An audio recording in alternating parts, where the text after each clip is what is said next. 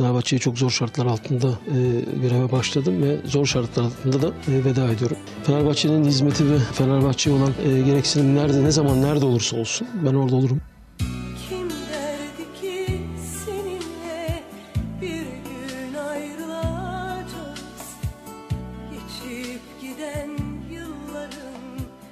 Ardından bakacağız Fenerbahçe 2013-2014 sezonunun şampiyonu Fenerbahçe değerli futbol severler. Şampiyon Fenerbahçe.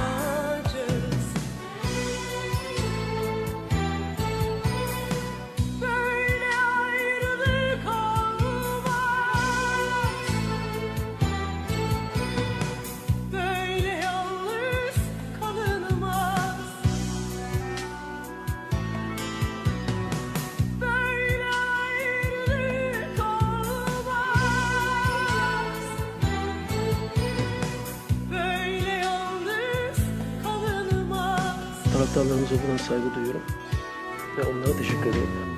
Hoşçakalın.